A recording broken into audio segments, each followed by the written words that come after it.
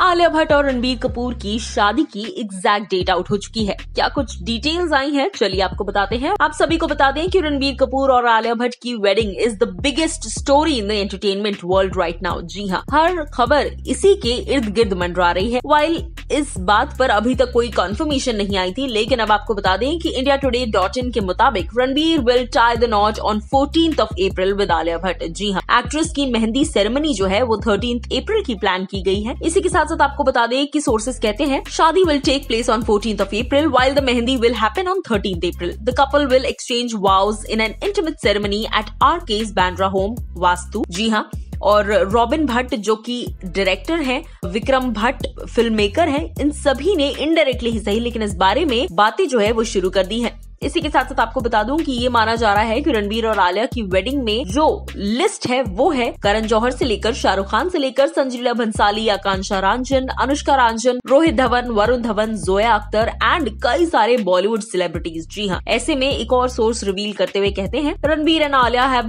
decided to honeymoon in South Africa after celebrating the new years abroad the couple has plan to take a safari in Africa again जी हाँ इसी के साथ साथ आपको बता दें कि बहुत वक्त से इन इनके मिलन की खबरें जो है वो आ रही थी बट अब ऐसा लगता है कि जिस तेज़ी से ये खबरें आ रही हैं डेफिनेटली जल्द से जल्द इन दोनों की शादी हो जाएगी। इस पर आपकी क्या है राय, बताइएगा ज़रूर हमें कमेंट सेक्शन में। साइड साइड साइड साइड दे भाई। Happy new year sir thank you so much sir